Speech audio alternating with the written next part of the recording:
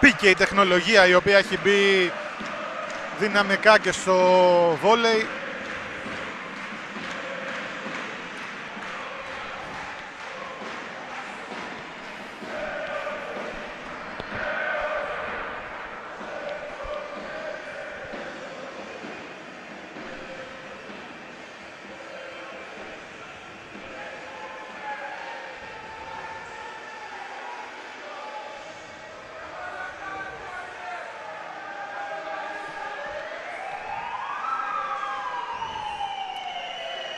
Από το βίντεο check ε, δεν υπάρχει ενημέρωση. Για να δούμε μισό λεπτό.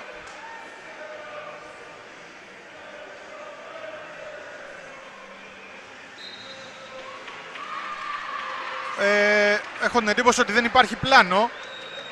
Και γι' αυτό υπερισχύει η, απόφαση, η αρχική απόφαση του διαιτητή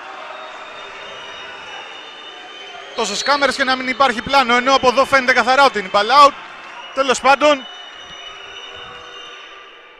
Άγκος θα βγάλει την ε, υποδοχή. Χρυσοδούλου για την ε, Χίπε.